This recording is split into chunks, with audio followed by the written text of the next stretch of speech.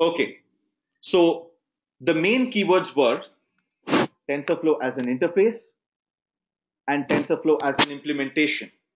So let's deep dive on these two keywords. TensorFlow as an interface. First of all, it's a lower level library. So it's not abstractions on top of your deep learning implementations so that, you know, you start treating this as a black box, but it's a lower level library which gives you that level of customized control that you would need in designing a complex application. Okay. It has got an extremely flexible structure, but then again, we will only discover this as we go forward. But not only this, it also has predefined implementations available. So if there's going to be some person who has solved problem X, we can extract those predefined implementations and apply it directly on problem Y. Okay.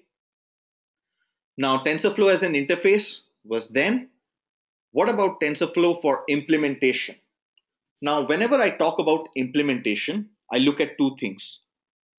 I need a language to implement a particular technology, and I need an environment so that this technology can rest on. So basically, there is language and there is environment. Now, TensorFlow for implementation makes things scalable. So whatever you're going to develop on your laptop can directly scale across hundreds of machines in a distributed computing environment. Okay.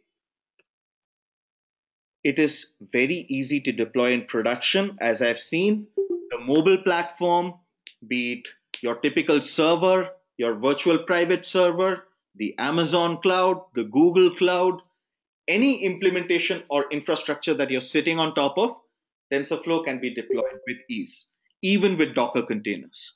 Okay. So you can basically go off from a small experiment to an industrial strength solution without any headaches whatsoever. Okay. So we'll talk about the TensorFlow environment the next.